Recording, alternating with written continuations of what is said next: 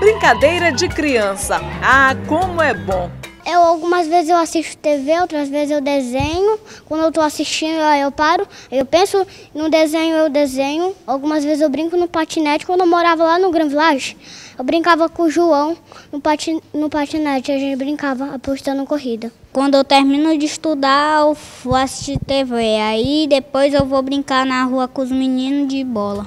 E é nesse ritmo de brincadeiras, na garagem de casa, que os primos Daniel e João passam parte do dia depois das atividades escolares. A responsabilidade da escola primeiro e depois a brincadeira. Tudo na dosagem certa, mas na certeza de que brincar faz parte da rotina das crianças. Ele tem tudo bem dividido, os horários dele é sempre dividido. Horário de brincar é hora de brincar, hora de fazer atividade é hora de fazer atividade. A gente tem um cronograma na, durante a semana todinho. Final de semana que eu deixo ele mais livre, né, para fazer as coisas dele. Mas brincando também se aprende? Qual a relação entre as duas coisas?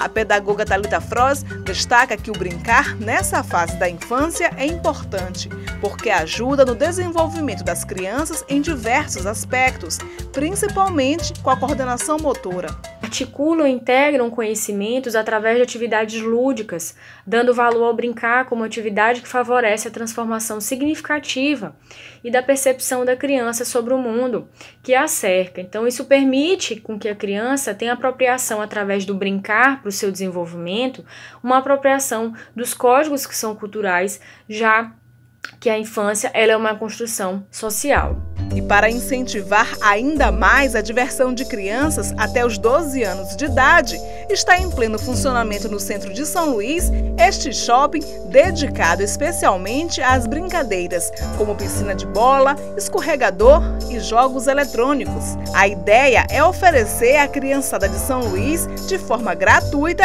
os mesmos equipamentos para brincar oferecidos em grandes shoppings da cidade. E o shopping da criança ele traz essa proposta do lazer digno, ou seja, evita que uma criança esteja no meio da rua, debaixo de um sol quente, é, empinando uma pipa. Hoje ela vem para um espaço é, recreativo, climatizado, com todos os brinquedos que se acha num shopping da ilha, num, num, num São Luís Shopping, né, que é pago e totalmente gratuito.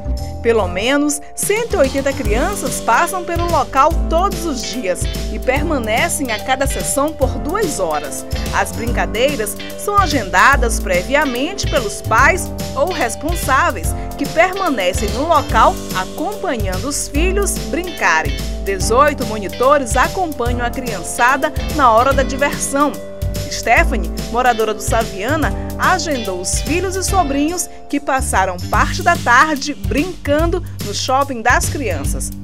Achei maravilhoso, né? É um lugar onde as crianças podem se divertir e os pais estar junto com eles, se divertindo, né? É, nós gostamos demais e nós só temos que agradecer, né? Por esse espaço maravilhoso. Independente do local, em casa, na rua ou em outros equipamentos, brincar tem uma importância ainda maior do que fazer as crianças apenas gastarem energia nessa fase da vida. Não se separa a ideia do brincar e do, e do aprender. São, são duas questões que estão ligadas, o brincar e o aprender. E que apenas a mudança da infância tem transformado o brincar neste, nesta fase é, da criança, a fase que ela tem de explorar a questão cognitiva e por conta disso a brincadeira vem mudando o desenvolvimento infantil.